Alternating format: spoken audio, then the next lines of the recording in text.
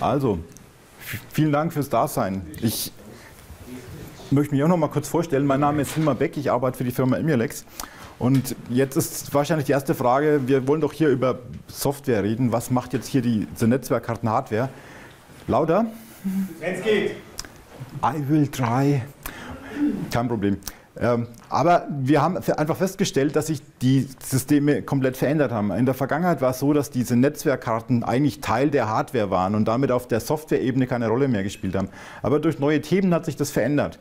Und durch diese neuen Themen ist es plötzlich so, dass wir als Hardware-Hersteller uns plötzlich auch mit Themen wie Applikationsperformance, Einbindung in Betriebssysteme beschäftigen. Und damit sind neue Kontakte entstanden, die wir hier an der Stelle einfach nutzen wollen. Sprich einfach weiter nicht durch mich irritieren lassen. Frage als erstes mal, wer kennt Emulex gar nicht? Echt? Raus. Das ist auch der Level von Feedback, den er haben möchte. Nee, aber ganz ernsthaft, die meisten kennen Emulex wahrscheinlich aus der Fiber Channel Vergangenheit von Emulex und da ist der Name Emulex einer der beiden Hersteller, die noch da sind. Aber an der Stelle geht es nicht um, um Fiber Channel, an der Stelle geht es wirklich um Ethernet. Einfach deswegen, weil Ethernet immer wichtiger wird und speziell in virtualisierten Umgebungen immer wichtiger wird. Das, die Problematiken sind immer die gleichen. Diese blöden Hardware-Kisten, Server mit immer mehr Cores und so weiter, sind immer mehr in der Lage, immer mehr Daten durch die Gegend zu schieben, immer größere virtuelle Maschinen zu hosten und die müssen irgendwo kommunizieren können. Und damit nimmt die Bedeutung des Netzwerks zu und deswegen sind wir näher an die Betriebssysteme, näher an die Applikationen rangerückt. Aber kleines Stückchen zu Emulex. Wo kommen wir überhaupt her? Wir sind kein Neuling in dem Bereich. Wir sind tatsächlich 1978 gegründet worden. Die, der Name Emulex kommt ursprünglich von Emulation Experts, weil man damals Storage-Systeme für DEC-Server emuliert hat. Und seitdem haben wir 23 Mal oder sowas ähnliches uns immer wieder neu erfunden und immer wieder was anderes gemacht. In der Zwischenzeit ist es Server.io. Zwischendrin waren wir mal Weltmarktführer für Router und unser größter Kunde war die Firma Cisco. Irgendwas haben wir da falsch gemacht. 120, äh, 1200 Mitarbeiter und davon sind 70 Prozent tatsächlich Entwickler. Davon der größte Teil wieder Softwareentwickler. Also wir sind eine sehr technologiegetriebene Firma. Das, was nicht Software ist, ist Administration und Vertrieb und Leute wie ich, die jetzt irgendwo technischen Vertrieb machen. Wir arbeiten mit nahezu allen möglichen, mit, ach, mit allen Firmen in irgendeiner Form zusammen. Hier speziell in Deutschland auch mit Fujitsu. Also zum Beispiel bei den neuen Generationen von Fujitsu-Servern sind Emulex 10 Gig Adapter on board draufgelötet. Aber egal welcher OEM-Partner das ist, in irgendeiner Form kommt Emulex davor. Im Moment ist es so, dass wir vom weltweiten Servermarkt so ungefähr 25 Prozent in der Hand haben. 25 Prozent der verkauften 10 Gig Ports kommen von uns. Im Rechenzentrum selber ist es noch deutlich mehr.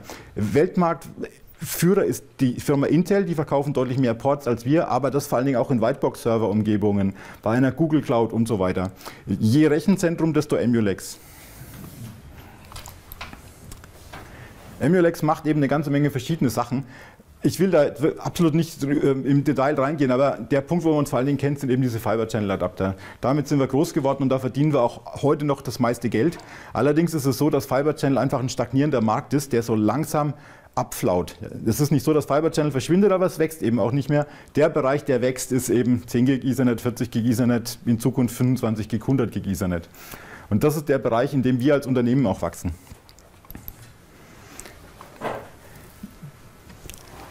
Fiber Channel sind wir wichtig, da sind wir die Nummer zwei. Parallel mit QLogic, die ein kleines bisschen mehr haben. 16 Gig sind wir der unangefochtete Platzhirsch. Aber wenn es um Dinge geht wie Converged Ethernet, Fiber Channel over Ethernet, das ist unsere Domäne, da kennen wir uns aus. Äh, insgesamt ist die Firma Intel vor uns. Aber nochmal, das vor allen Dingen durch die Tatsache, dass jeder Intel kennt, der einen Whitebox-Server kauft. Wenn Sie bei IBM einen Server einkaufen, ist es sehr wahrscheinlich, dass da ein Virtual Fabric Adapter drinsteckt und der kommt dann von uns. In dem Moment, wo man einen HP Blade kauft, ist es je nachdem, wann man das gekauft hat, sehr wahrscheinlich, dass da Emulex drinsteckt. Und da wurde ich heute Morgen schon ganz viel geschimpft, weil es da natürlich auch Probleme gibt. Gehört auch dazu. Im Moment geht es vor allen Dingen um diese letzte Generation von Adaptern und da ist jetzt eben eine ganze Menge Neues passiert. Das ganze Ding ist aufgebaut auf einem neuen ASIC, den wir zwar letztes Jahr schon vorgestellt haben, aber der jetzt mit dem Grantley Server Start überall in den OEM-Portfolios aufgetaucht ist. Egal, ob das jetzt eine Dell, eine Fujitsu, eine IBM, eine Lenovo, eine Quanta, eine HP und so weiter ist. Diese Dinger gibt es jetzt überall in verschiedensten Varianten und Bauformen. Aber was sie alle gemeinsam haben, ist die prinzipiellen Grundfunktionalitäten, die dazugekommen sind. In der Vergangenheit haben wir Adapter gebaut, die vor allen Dingen Ethernet-Funktionalitäten hatten und zusätzlich Storage-Funktionalitäten, IceGAS und FCOE, weil das ist nun mal der Bereich, aus dem wir herkommen. Die Maßgabe bei den neuen Adaptern war jetzt aber vor allen Dingen für das Thema Virtualisierung vorbereitet zu sein und vor allen Dingen Virtualisierung zu unterstützen, deswegen Hyper-V. Bei Virtualisierung sind es jetzt wieder zwei Dinge, die für uns besonders relevant waren. Das einmal war es RDMA, Rocky, um dafür zu sorgen, dass ich ausreichende Bandbreite und Performance zwischen verschiedenen Systemen zur Verfügung habe. Das zweite Thema ist das Thema NVGRE, wir haben das dann zusammengefasst unter Virtual Network Acceleration, da sind noch verschiedene andere Dinge drin, aber vor allen Dingen geht es hier um die Kommunikation zwischen virtualisierten Systemen. Diese neuen Dinger sind also überall verfügbar, es gibt keinen OEM mehr, der die nicht hat. Du sprachst gerade NVGA an. Unterstützt ja. ihr auch das Konkurrenzprodukt wie Islam? Ja. Ist okay. das muss man sich nicht verstehen. Das ist, das Ding ist, das, äh, ich kann gerne ein paar Worte dazu sagen. VXLAN und NVGAI unterscheiden sich im Detail, aber nur im Detail. Und damit ist es für uns eigentlich kein großer Unterschied, ob wir das eine machen oder das andere.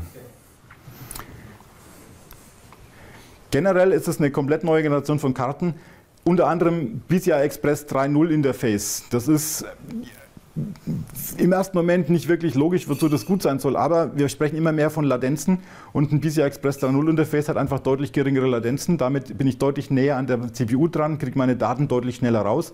Jede ältere Karte hat automatisch dadurch einen Nachteil, weil sie den neuen Server runterbremst. Allein dadurch habe ich mit der neuen, schnelleren Karte schon echte Vorteile. Aber auch mit so Kleinigkeiten wie ähm, Pakete. In, in, einer typischen Rechenzentrumsumgebung hat man typischerweise früher immer relativ große Block, äh, sorry, MTU-Sizes benutzt. Je größer, desto einfacher kriege ich so einen Link geflutet. Und jetzt kommen so Dinge wie dieses blöde Teil hier. Und plötzlich mache ich da WhatsApp oder Twitter oder irgend sowas. Plötzlich habe ich dann jede Menge Pakete mit kleinen Paketgrößen, die irgendwelche Server fluten, die irgendwo ankommen. Damit ich die übertragen kann, brauche ich deutlich mehr I.O.-Leistung. Diese Karten schaffen 8 bis 9 Millionen Pakete pro Sekunde, die alten schafften ca. 2 Millionen Pakete pro Sekunde. Ich habe also an vielen Stellen einfach mehr Reserven mit den neuen Karten. Je nachdem, was ich für eine Applikation habe, wird es eine Rolle spielen oder eben auch nicht. Für einen File-Server ist es komplett irrelevant. Für ein Frontend in einem Webserver ist es relevant. Wir haben das Ding also aufgebaut für die Anforderungen, die es heutzutage gibt. Vor allen Dingen eben mit dem Bezug auf Virtualisierung. Und in Virtualisierung habe ich immer das gleiche Problem. Ich habe irgendwelche CPUs, die sollen virtualisieren und nicht irgendwelche Bandbreite fluten. Deswegen war der Ansatz, die Dinger so zu gestalten, dass sie CPU-Ressourcen sparen und schonen, damit ich möglichst viel virtualisieren kann und nicht irgendwelchen anderen Schmann. Es geht aber auch um Security, es geht um Multitenant Networks, NVGAI. Es geht um besseren Datendurchsatz. Die Dinger sehen doch total wunderschön aus, oder? Das ist, ich finde es immer total faszinierend, was für blöde Produkte wir haben.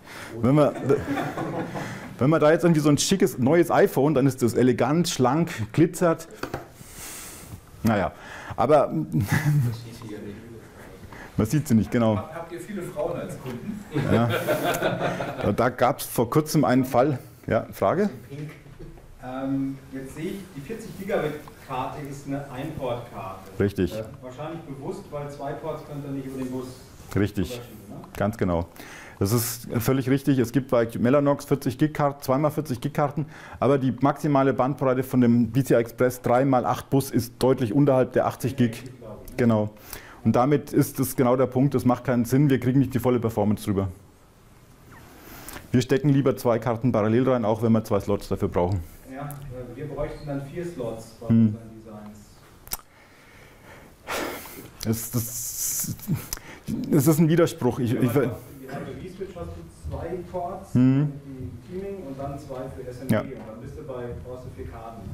Ich weiß. Ich Entscheidung wegen der Bandbreite ist ja. sicherlich richtig, aber. Ähm, ich, die Diskussion ist nicht neu. Das ist, wir mussten einen Tod sterben. Das, die Situation wird sich mit den nächsten Bussystemen wieder ändern, weil dann haben wir PCI Express 4, dann haben wir das Problem nicht mehr, aber bis dahin haben wir diese Zwischenlösung. Ich kann es nicht ändern. Ähm, Frauen. Vor kurzem hatten wir unseren amerikanischen Marketingchef hier in Europa, der hat sich dann mit einer deutschen Journalistin unterhalten und dann hat er am Schluss äh, äh, als Vergleich gesagt, unsere neuen Karten sind ein bisschen wie iPhones. Man kann da nämlich zusätzliche Funktionalitäten draufladen, so ein bisschen wie als ob man eine App installiert. Und am Ende des 15-Minuten-Gesprächs hat die Frau dann danach diesem Satz gemeint, haben Sie auch ein Touchpad?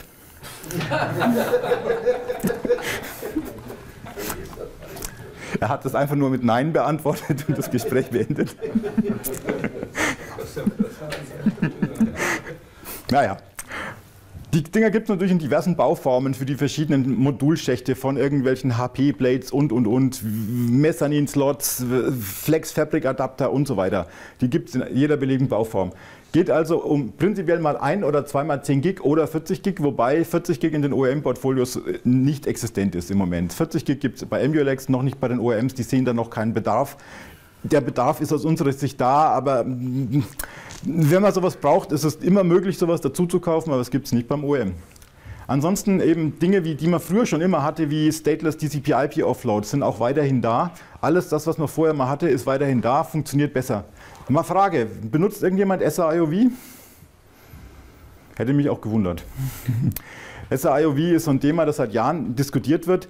Die, die, neuen Karten können das deutlich besser als vorher. Wir können jetzt 64 SAIOV-Ports anbieten, damit genügend, um auch eine größere Umgebung zu virtualisieren. Aber die Nachteile, die ich mir damit einfange, sind immer, ich verliere Flexibilität.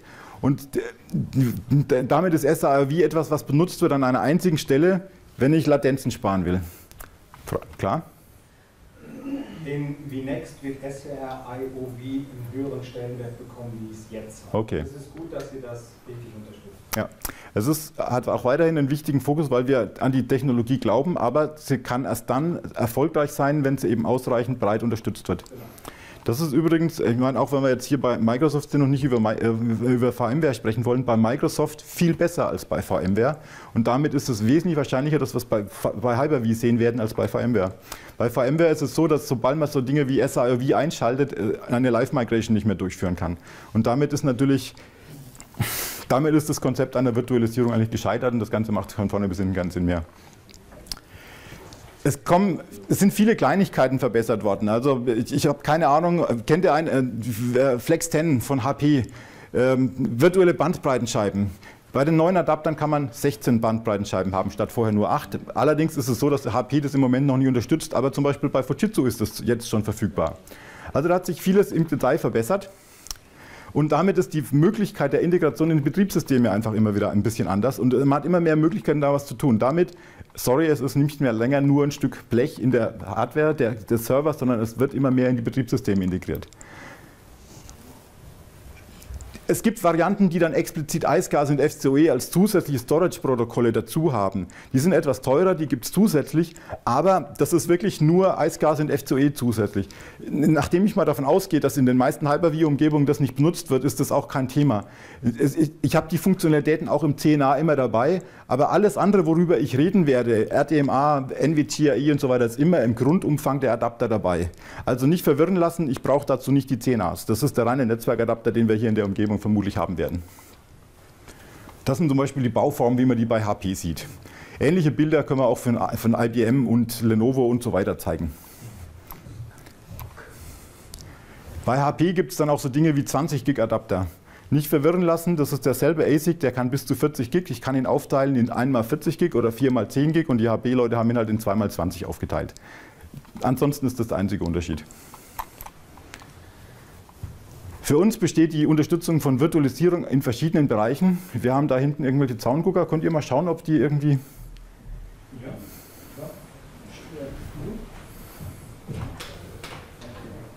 So, was ist jetzt hier?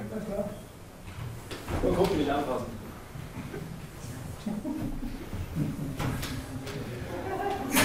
Hm, okay. Das Thema Overlay Networking ist für uns sehr, sehr spannend. Und zwar einfach deswegen, weil es natürlich an einer ein, ein, echtes Problem von Virtualisierung löst, nämlich ein Skalierungsproblem. Je größer eine virtuelle Umgebung wird, desto schwieriger ist es, das Ding zu skalieren und desto schwieriger ist es, zu verwalten. Overlay Networking adressiert genau dieses Problem.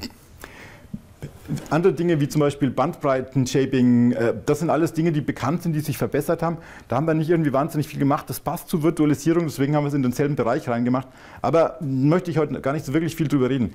Wichtig ist vor allen Dingen, dass wir so Dinge wie VMQ hier natürlich auch unterstützen und das war auch wieder Teil der Diskussion und da können wir nachher dann auch in der, Diskus in der ähm, Question and Answers ähm, noch ein bisschen was drüber sagen, weil da gab es in der Vergangenheit ziemliche Probleme. Aber das ist etwas, was die alten Karten und die neuen Karten letztlich nicht unterscheidet. Das ist einfach Funktionalität, die schon immer da war, die nur immer wichtiger wird. Wer weiß, was Overlay Networking ist? Sehr schön. Das ist, nee, gut, kann man nämlich anfangen zu erklären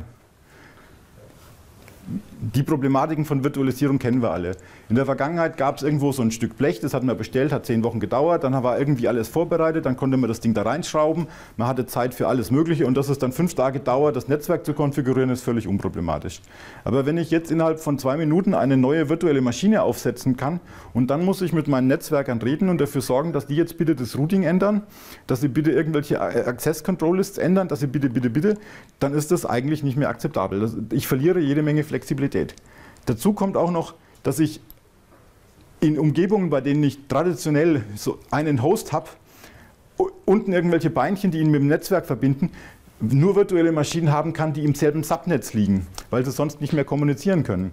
Wenn ich jetzt also eine virtuelle Maschine von dem Host auf einen Host da drüben umziehe, nicht womöglich in einem anderen Rechenzentrum, sondern nur im Nachbarrack mit einem anderen Top-of-the-Rack-Switch, habe ich potenziell schon keine IP-Kommunikation mehr, muss das Ding umkonfigurieren. Ich verliere Flexibilität.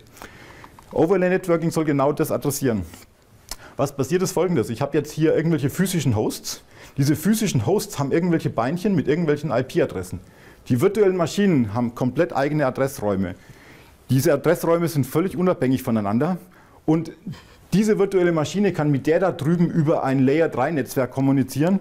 Das wird hier unten über die Gegend geschoben. Die beiden glauben trotzdem in einem Layer 2 Netzwerk miteinander zu kommunizieren.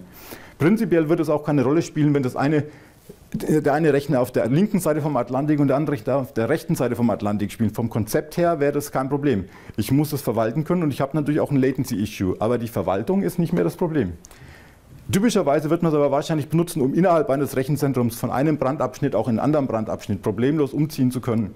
Und der zweite Punkt ist auch noch der, in diesem Fall haben wir die Dinger verschiedenfarbig eingefärbt.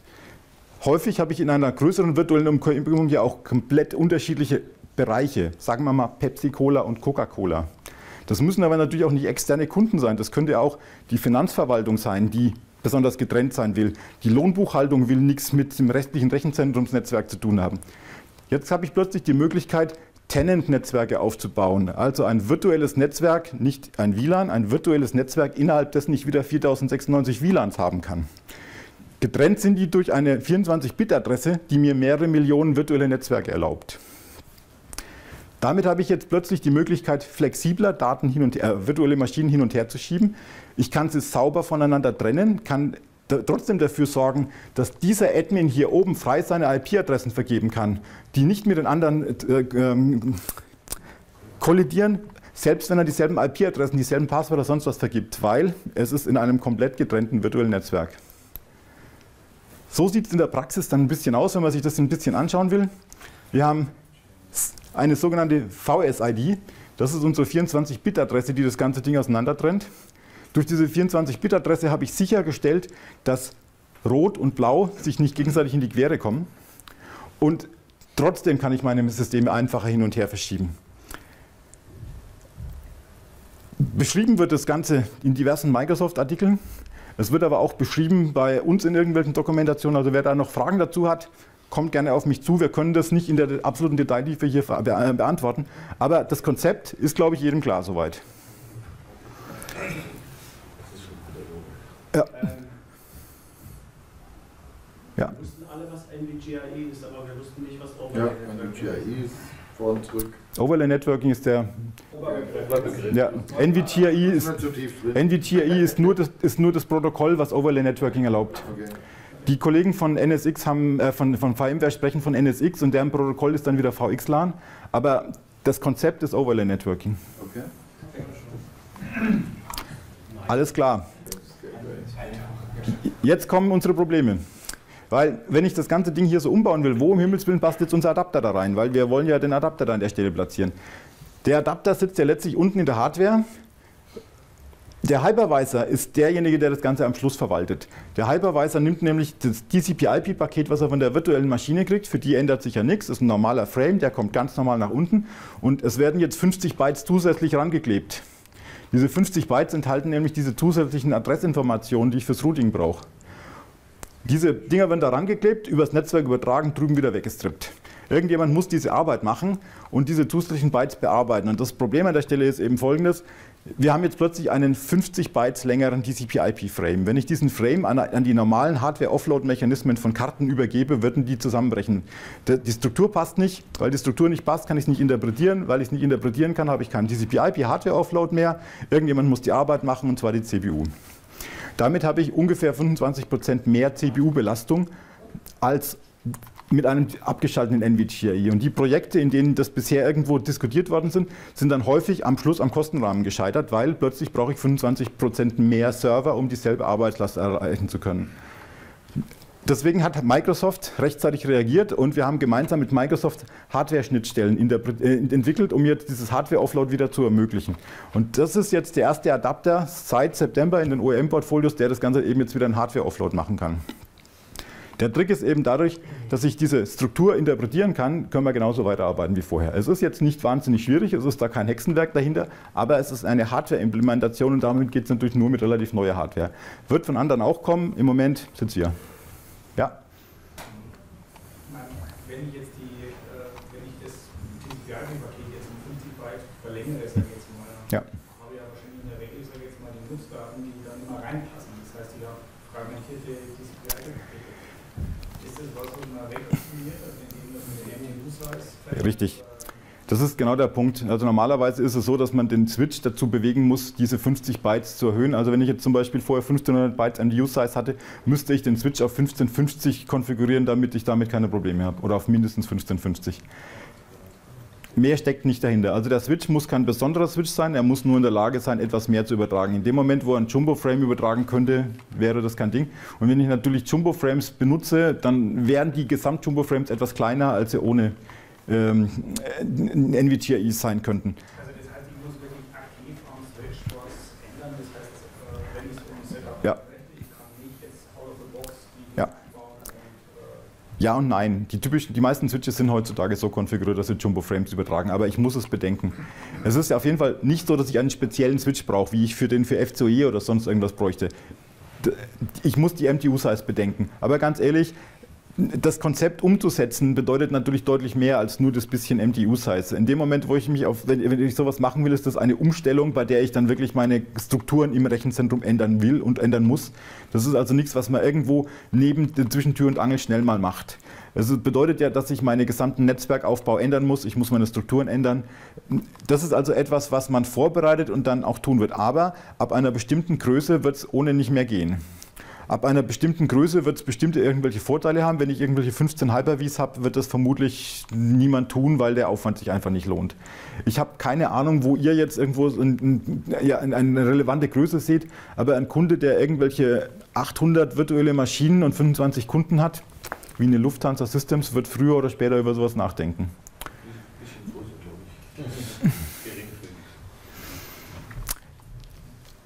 Spannend wird es aber natürlich dann spätestens für sowas wie eine, einen Telekom-Provider, der natürlich dann viele, viele verschiedene Kunden irgendwie drüber leiten muss. Die werden sowas auf jeden Fall benutzen müssen. Einfach sonst, weil sie sonst die Netzwerke nicht mehr verwaltet kriegen. Fragen zu NVGI? Ja, das sind diese Performance-Werte, die wir gemessen haben. Ansonsten, wenn es keine Fragen mehr dazu gibt, würde ich nämlich ganz zum nächsten Thema weitergehen. Wie sieht es aus? Ansonsten, wir können später in der Question and Answer Session natürlich auch noch weiter fragen. Sind die Karten schon verfügbar? Die sind verfügbar. Die sind bei Emulex seit März 2014 verfügbar, bei den OEMs seit dem Grantley Server Launch, allerdings zum Beispiel bei IBM, bei Dell, bei HP auch für die älteren Server. Also es ist nicht so, dass man jetzt unbedingt einen Grantley Server braucht, um die Dinger benutzen zu können. Sie sind in jedem OEM-Portfolio irgendwo jetzt vorhanden. Man kann sie aber auch direkt kaufen. Man kann sie auch direkt kaufen, ja. Das ist, also, sorry, um es jetzt konkret zu sagen, niemand kann direkt bei Emulex einkaufen, aber natürlich kann ich über einen Partner, über einen Distributor einkaufen. Es gibt sie von Emulex, um das jetzt so, zu sagen. Emulex ist 100% äh, äh, äh, indirekt, es gibt keine Möglichkeit für irgendjemanden direkt einzukaufen. Aber die, die Afnet zum Beispiel oder auch eine, verschiedene kleinere Distributoren haben das Zeugs und damit kann natürlich ein Reseller da problemlos einkaufen. Das Thema, das ich wesentlich spannender noch finde als NVGI, ist RDMA Rocky. Und zwar, um das jetzt im Vorfeld mal zu sagen, ich habe ja gesagt, NVGI ist etwas, was mit einer Umstellung zu tun hat, mit einem Designwechsel, vielleicht auch mit einem Paradigmenwechsel, mit einem Mindsetwechsel. Da steckt ja eine ganze Menge dahinter. RDMA kann jeder sofort nutzen, in dem Moment, wo er einfach nur die richtige Karte, die richtige Umgebung hat, weil das Microsoft-Betriebssystem das einfach erkennt und aktiv benutzt. Es ist also schon so, dass man sich Gedanken machen muss, dann, wie man das richtig aufsetzt. Aber es bedeutet nicht, dass ich irgendwie einen riesengroßen Designwechsel durchsetzen muss oder womöglich mein gesamtes Rechenzentrum aufbauen muss. Ich muss die Rahmenbedingungen beachten und dann kann es auch mit einer kleinen Menge an Servern relativ schnell losgehen. Generell weiß jeder, was RTMA mal prinzipiell tut. Ja, ne? RTMA kommt aus einer TCP, sorry, aus einer InfiniBand-Vergangenheit. Stimmt gar nicht, was ich erzähle. RTMA kommt aus einer Mainframe-Vergangenheit. Und aus dieser Mainframe-Vergangenheit wurde es zu InfiniBand portiert und jetzt ist es in der Ethernet-Welt angekommen. Die Plattform, auf der es im Moment sauber funktioniert, aus unserer Sicht die einzige, in der das Rechenzentrum sauber, sauber funktioniert, ist Microsoft mit SMB direkt. Man kann sowas auch mit NFS und RDMA für Linux-Plattformen machen. Aber das Problem. Genau. Genau. Genau. Aus.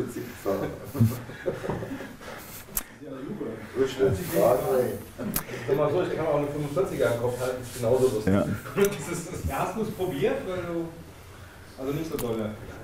Das, das, Problem ist, also das ganz allgemeine Problem ist, äh, RTMA unter Linux bedeutet, ich habe den OFED-Stack als Ebene dazwischen und dieser OFED-Stack ist etwas, was aus der InfiniBand ähm, ähm, Open Source Quelle kommt. Da sind wir auch mit dabei, da, da sind wir im Moment dabei, das zu beeinflussen, aber letztlich ist das, sagen wir mal, gut genug für InfiniBand und sorgt dafür, dass die Jungs mit ihren äh, Hochverfügbarkeitsclustern damit zurechtkommen. Es ist aber nicht wirklich dafür ausgelegt, äh, sowas wie gleichmäßige Datenströme, Filesysteme, ähm, Interaktion mit beliebigen ähm, Applikationen, die drüber sitzen, sauber abzuwickeln. Von daher in einem Jahr mag das anders aussehen, vielleicht in einem halben Jahr schon besser, aber im Moment sehen wir das Ganze als Deck-Preview, probier es mal aus, wenn es gut, wenn es klappt, ist gut. Wir versuchen auch zu helfen, aber wir können dir nicht versprechen, dass es funktioniert der vorgehaltenen Hand will VMware das ein bisschen treiben, dass sie das reinbekommen in ihr NFS 4.1 Portfolio. Aber das soll in VMware 6 kommen, aber ob das wirklich kommt. Also unsere Leute gehen davon aus, dass es circa zwei Jahre dauern wird, bis VMware soweit ist. Also so ist es halt einfach. Aber wir sprechen ja hier von der Microsoft-Lösung und da sieht es eben komplett anders aus. Microsoft hatte halt da auch den Vorteil, dass sie nicht auf irgendwelchen OFED-Stacks aufbauen mussten, sondern sie haben es einfach selber gemacht. Und damit ist es so, dass wir die Schnittstellen sauber definieren konnten, selbst definieren konnten und wir damit diese sauber definierten Schnittstellen einfach nur bedienen können. Wesentlich einfacher, wesentlich simpler. Der Plan bei Microsoft ist allerdings auch, das noch deutlich weiter auszudehnen, als es im Moment ist. Also im Sinne von auch öffnen für weitere Applikationen. Aber im Moment ist es so, dass es primär um SMB direkt geht, also SMB geht. Und alles, was natürlich SMB nutzt, hat Performance-Vorteile. Aber ähm, die Zukunft wird sein, dass ich zum Beispiel auch eine Applikation selbst schreiben kann und dann da jetzt Schnittstellen in Richtung RDMA benutzen kann. Keine Ahnung, wann wir so weit sind. Im Moment sind wir es noch nicht. Der Vorteil von Rocky ist letztlich die Latenz. Es geht um die Latenz, aber auch um die CPU-Belastung. RDMA bedeutet ja letztlich einen direkten Memory Copy. Es soll heißen, ich kopiere Daten aus, ne, bleiben wir beim File-Server. Ich habe einen File-Server, ich habe einen Client. Der Client holt sich aktiv die Daten des Files aus dem Hauptspeicher des File-Servers und kopiert die in einem einzigen Kopiervorgang rüber auf seine Seite. Damit habe ich natürlich Latenzen reduziert, nicht im Netzwerk. Das ist der Gedanke bei InfiniBand, nicht im Netzwerk, sondern rechts und links habe ich den TCP-IP-Stack weggelassen. Und durch diesen simplen, einfachen Kopiervorgang kann ich dafür sorgen, dass ich plötzlich 10 Gig Ethernet Links fluten kann, ohne dass ich 100 Millionen Interrupts auslösen muss, ohne dass ich meine CPUs massiv belaste und anderer Effekt ist auch noch dabei, ohne dass ich die Memory-Busse massiv belaste, weil TCP/IP ist ein ständiges Kopieren und Umbiegen durch den TCP/IP-Stack und damit wird das File diverse Male durch den TCP/IP-Stack auf beiden Seiten kopiert, bevor irgendwas passiert. Wenn ich jetzt also eine virtuelle Maschine habe, die 200 Gig Hauptspeicherinhalt hat, dann muss ich die 200 Gig zweimal rechts und links zu T biegen. Wenn ich das Ganze mit Rocky machen kann, habe ich einen einzigen Kopiervorgang nach, von rechts nach links. Also die Latenz wird reduziert, aber nicht auf der Leitung, sondern weil ich den TCP-IP-Stack rauslassen kann. Die CPU-Belastung wird massiv reduziert und zwar deswegen, weil ich den TCP-IP-Stack nicht benutze, sondern einfach nur kopiere. Ich kann dafür sorgen, dass die Netzwerkbandbreiten, 10 Gig Ethernet, hört sich ja toll an, aber typischerweise, ihr habt da wahrscheinlich bessere Werte, aber Live Migration, 2,5 Gig, äh, 2,5, äh, 2, 25 Prozent der 10 Gig Leitung, das halte ich für realistisch, oder? Mehr dürfte man relativ selten sehen. Doch, ist mehr. Ja. 5, 6 Gigabit sind über TCP/IP möglich. Hm. Das heißt am Schluss, die Leute sagen, ich habe hier 10 Gigabit, ich kriege nur 5. Ja. Was ist denn hier los? Genau. TCP/IP-Stack, Cores angucken, dann hast du 100 Prozent, dann weißt du was. Ganz genau. Das habe ich damit jetzt eben anders gelöst. Damit kann ich 10 Gig Links äh, wirklich fluten und Microsoft hat es ganz schick gemacht. Wenn ich einen zweiten 10 Gig Link parallel habe, wird der automatisch mit dazugenommen und ich kann auch mehr als 10 Gig Bandbreite nutzen. Und zwar ohne, dass ich ein Teaming konfigurieren muss oder sowas ähnliches. Ähm, die, die, Lösungen, in denen ich sowas benutzen kann, sind also sehr vielschichtig, weil sehr viel natürlich auf SMB aufbaut. Das ist eine Live-Migration, das ist aber auch jede andere Applikation, die auf den Storage Space zugreift, weil es damit natürlich schneller an den Storage Space rankommt. Wenn wir bei Hyper-V bleiben, eine virtuelle Maschine, deren Daten auf einem Storage Space liegen, wird also kürzere Latenzen haben. Damit wird die virtuelle Maschine schneller laufen, schnellere Antwortzeiten haben. Damit habe ich natürlich eine höhere CPU-Belastung, weil ja meine virtuelle Maschine plötzlich mehr CPU-Belastung verlangt, aber die habe ich auch zur Verfügung, weil ich sie ja auf der TCP-IP-Seite eingespart habe. Witzigerweise ist es also dann tatsächlich so, dass wir sagen können, dass man durch RTMA eine höhere CPU-Belastung erreichen kann als ohne RTMA, weil ich es plötzlich verteilen kann. Weil sonst habe ich nämlich das Problem, dass zwar eine Core kocht, aber die anderen halt immer noch nichts zu tun haben.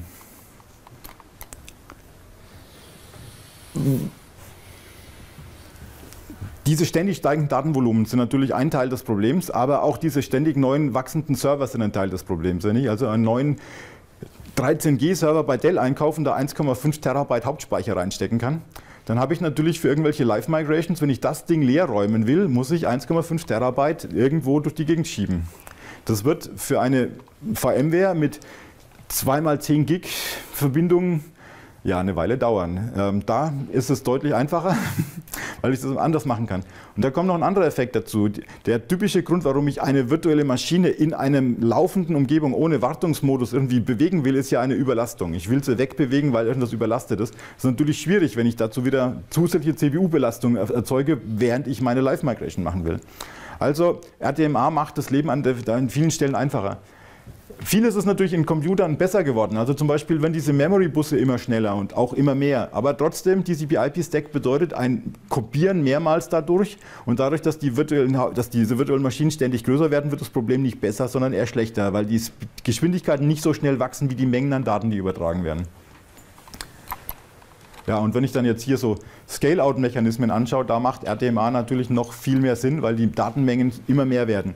Ganz allgemein sehen wir einen deutlichen Zuwachs an Bedeutung des Netzwerks, weil diese Server in der Vergangenheit häufig als ja, wie soll ich sagen, als Insel von Rechenleistung gesehen, worden, gesehen wurden. Das geht heute nicht mehr. Heutzutage habe ich einen Server als Teil einer komplexen Lösung und diese Server müssen miteinander kommunizieren und damit wird die Kommunikation immer wichtiger und immer bedeutender.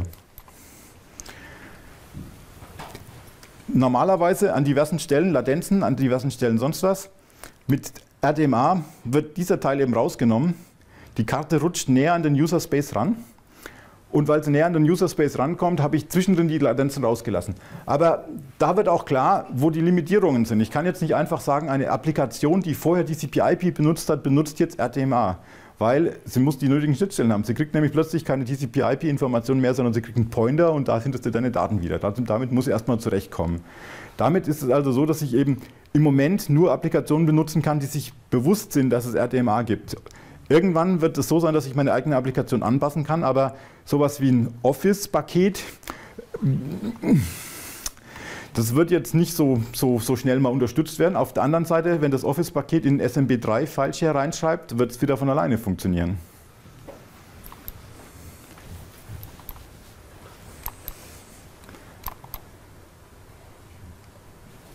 Haben wir alles drüber gesprochen, würde ich jetzt gerne einfach mal überspringen. Es gibt eine Reihe von Applikationen, die sich bewusst sind, dass es RDMA gibt oder sagen wir mal mehr oder weniger bewusst sind, dass es RDMA gibt und relativ schnell und einfach in der Lage sind, das zu nutzen. Das ist natürlich vor allen Dingen der Hyper-V. unter anderem für die Live-Migration, aber auch sowas wie ein SQL-Server, ein Exchange-Server, ein IIS benutzen aktiv RDMA. Aber da ist die allgemeine Aussage ganz klar, das wird weiter ausgebaut werden. Das wird immer mehr sein. Also RDMA, ich glaube, ihr könnt es bestätigen, RDMA ist ein integraler Bestandteil der Zukunftsplanung von Microsoft. Und das Thema RTMA wird insofern immer wichtiger werden, weil die Bandbreiten, die wir brauchen, eben immer wichtiger werden, immer größer werden. Äh, wir sprechen jetzt vor allen Dingen über 40 Gig, aber 100 Gig steht ja auch schon an. Wie will ich denn diesen 100 Gig Link fluten, wenn ich rechts und links nicht meine gesamten CPU-Cores damit zumachen will?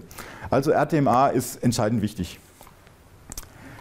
So, diese Lösungen sind aber natürlich auch immer wieder in verschiedenen Ebenen aufgebaut.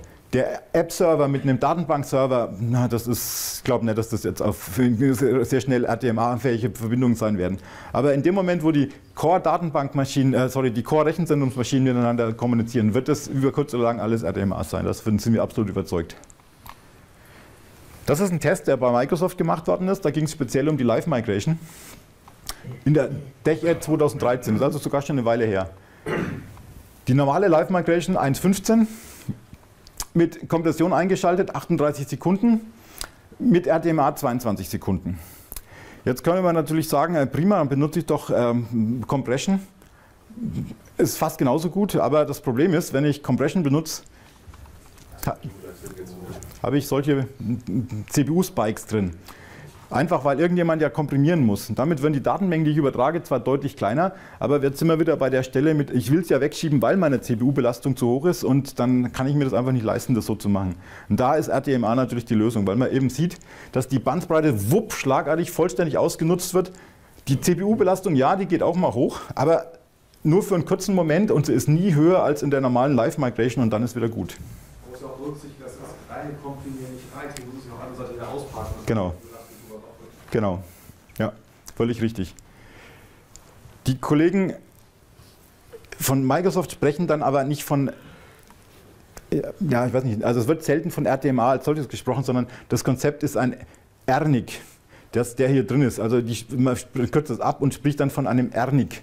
In dem Moment, wo der Begriff RNIC auftaucht, ist das ein NIC, der RTMA-fähig ist.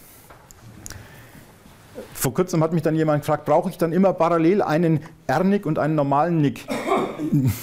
Ich kann es auch nicht so genau beantworten. Es gibt äh, technisch nicht, aber es gibt ähm, Situationen, in denen Microsoft beides parallel verlangt. Für irgendwelche Zertifizierungen und sonst was. Aber es gibt keine technische Notwendigkeit. Jeder R-Nick ist automatisch immer ein Nick und für normales TCP/IP geeignet und wird dafür benutzt. Alles, sagen wir mal, wir haben einen normalen File-Share, das ist das, was wir beide ausprobiert haben. Dann ist alles, was mit Login auf den File, äh, Metadatenübertragung, äh, Rechteverwaltung, alles ganz normales TCP/IP. Und dann, wenn ich anfangen will, Daten zu übertragen, wird eine Paarbeziehung zwischen den beiden Partnern aufgebaut und wir schalten auf reines RTMA mit Ethernet-Übertragung um. Wenn die Daten drüben sind, Sache erledigt, ab da bin ich wieder ein normaler TCP/IP-Adapter. Und genau. Und das Ganze auch parallel und gleichzeitig. Das Ganze ist auch ganz schick gemacht, weil wenn es aus irgendeinem Grund nicht funktioniert, zum Beispiel die Systemressourcen reichen nicht aus, um RDMA zu aktivieren, verliere ich keine Funktionalität, ich mache halt mit TCP/IP weiter. Wenn ich keine Barbeziehung aufbauen kann, habe ich Performance verloren, aber nicht Connectivity.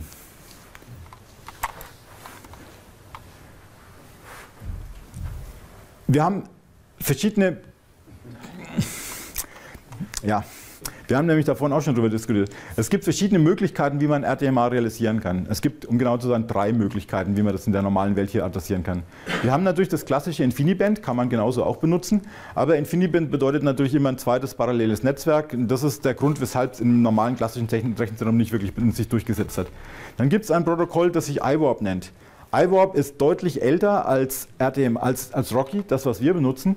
Damit hat das eine gewisse Verbreitung erreicht. Es ist aber nur ein einziger Hersteller, es heutzutage noch wirklich unterstützt, das ist die Firma Celsio. Mit, oft in die, äh, mit, mit, mit geboren hat das ganze Ding Intel, aber Intel hat das eigentlich nicht mehr im Fokus, will sich auch auf Rocky fokussieren. iWarp ist da. iWarp hat einen Vorteil, es ist routingfähig. Weil es routingfähig ist, kann ich es natürlich in einem größeren Umfeld benutzen. Allerdings hat es auch den Nachteil, dass es weiterhin TCP/IP benutzt und damit ist es nicht so schlank, nicht so elegant, hat, äh, äh, hat nicht dieselben Performance-Werte. Trotzdem ist IWAP definitiv eine der Möglichkeiten. Was wir machen, ist definitiv aber RTMA over Converged Ethernet Rocky. RTMA over Converged Ethernet heißt aber eben Converged Ethernet. Prinzipiell kann ich das Ding mit jedem beliebigen Switch machen. Ich kann es auch mit einer Back-to-Back-Verbindung machen. Aber das Problem ist, wir benutzen kein TCP-IP. Weil wir kein TCP-IP benutzen, haben wir den Nachteil, dass wir kein Routing benutzen können. Wir müssen also innerhalb eines Layer-2-Netzwerks bleiben. Und der zweite Nachteil, ohne TCP-IP gibt es keine Fehlerkorrektur. Wenn ein, ein Paket verloren gegangen ist, ist es weg. Das heißt nicht, dass die Daten korrupt sind. Das würde nämlich bedeuten, dass auf Applikationsebene das erkannt wird und das Ganze neu geschickt wird. Aber das ist ja unsinnig. Wir wollen ja die Latenzen reduzieren. Damit es also sauber funktioniert, brauche ich den geeigneten Switch, einen DCB-fähigen Switch, der lossless funktioniert. Und die gibt es von Cisco. Jeder Nexus ist in der Lage, das zu tun. Die gibt es von HP, die gibt es von IBM, die gibt es von überall. Aber das muss man sich bewusst sein. Also sinnvoll wird das ganze Ding dann, wenn ich zum Beispiel einen Top-of-the-Rack-Switch habe, der TCP-fähig ist, weil dann habe ich nämlich volle 10 Gig Performance zwischen jedem einzelnen meiner Systeme. Das ist der Einsatz, den wir typischerweise sehen. Eine Live-Migration mit Hilfe von RTMA von einem Brandabschnitt in den nächsten Brandabschnitt über drei Hops das ist, das ist nicht das, was wir in der Praxis sehen wird. Das wird technisch funktionieren, auch wenn TCP zwischendrin nicht funktioniert, aber in dem Moment, wo irgendwelche Pakete verloren gehen, würde das bedeuten, dass ich meine Performance-Vorteile verliere, dann kann ich es mir gleich sparen. Brandabschnitt ist aber jetzt natürlich wieder nur, äh, also ist, wie soll ich es mich jetzt ausdrücken? Brandabschnitt ist natürlich jetzt wieder eine Frage, wie ich das mache. In dem Moment, wo ihr zum Beispiel es ja nur mit einem einzigen Core-Switch habt, an dem alles angeschlossen habt, ist der Brandabschnitt wieder nicht das Thema. Das Thema ist letztlich, wie viele Switches habe ich dazwischen und wie weit muss ich das aufbrechen? Ja. Du hast vorhin DCB gesagt, mhm. Äh, man braucht auch in den Switchen noch PFC, also Priority Flow Control. Ja. Ganz essentiell wichtig, es gibt Switche, die DCB machen, aber kein PFC. Und auch bei jeder Switch nachgucken. Ein Flex sagen. Nee. Nee, sorry. Das, das, das, ähm, da habe ich dich vorhin vielleicht falsch verstanden, aber ein, also ein DCB-fähiger, der Kern von DCB ist Priority Flow Control. Einer der unterstützten Dinge, da gibt es mehrere. Und ja. ich habe schon DCB-Switche gesehen, die keinen Priority Flow Control unterstützen. Ich würde es gerne anders ausdrücken, da, bevor wir uns da jetzt streiten, ich weiß es nicht, aber jeder Switch, der für FCOE geeignet ist, ist auch für RTMA geeignet. Das ist auf jeden Fall weil FCOE ja genau. Priority Flow Control zwingend hm. erfordert. Der Trick an Priority Flow Control ist nämlich der, wenn ein Sender zu schnell ist, kann ich ihn ausbremsen und dafür sorgen, dass die Daten nicht schneller kommen, als ich sie weiter ähm, wegschicken kann. Damit kann ich sicherstellen, dass Daten nicht verloren gehen und damit ist es genau das, was ich haben will. Es könnte sein, dass ich statt der erwarteten 10 Gig nur 9,5 erreiche, aber die 9,5 erreiche ich stabil.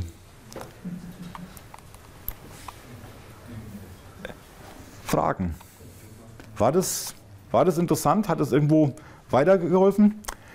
Wir sind nachher noch in der Question-and-Answer-Runde. Also wer Fragen jetzt hat, kein Ding, ansonsten stellt sie auch nachher. Ähm, wir werden wohl nachher von unserer Seite noch eine Frage aufwerfen, aber das machen wir dann nachher.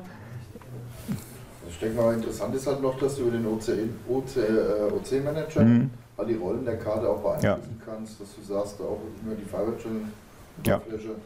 Du bist eine Eiskarte, du bist das, du bist das, dass man das einstellen ja. kann.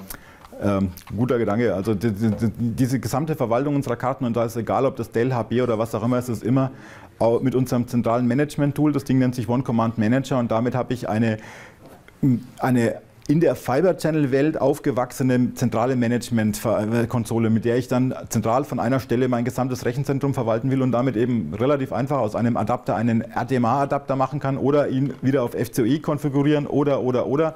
Und das Ganze mache ich von meiner Windows 7 Maschine am Arbeitsplatz aus und wähle mich auf die anderen Maschinen ein. Ähm, damit ist die Verwaltung von dem ganzen Ding sehr simpel und sehr einfach, weil ich muss ja den Adapter erstmal sagen, was er tun soll. Wir sprechen von einer Personality und so ein Adapter kann FCOE-Adapter sein, kann RTMA-Adapter sein. Sie können verschiedene Dinge gleichzeitig, aber wenn ich RTMA machen will, will ich alle Ressourcen für RTMA haben und damit ist das Ding nur noch RTMA. Und damit muss ich immer natürlich auch so konfigurieren. Eine Bandbreitenteilung zwischen RTMA und FCOE ist so ziemlich das Absurdeste, was man sich, glaube ich, vorstellen könnte. Das würde überhaupt keinen Sinn mehr machen.